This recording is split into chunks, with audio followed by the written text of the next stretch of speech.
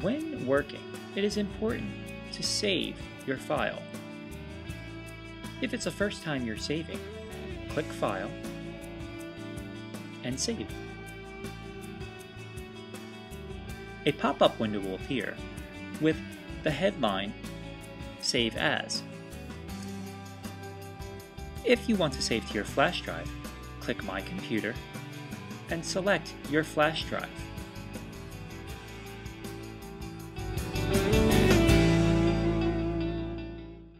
To save your file in a flash drive, you must click the flash drive, then click Open. Giving your file a name helps identify it later. Click next to File Name and type in the name of your file. When you click the Save button, all work up until this point has been saved.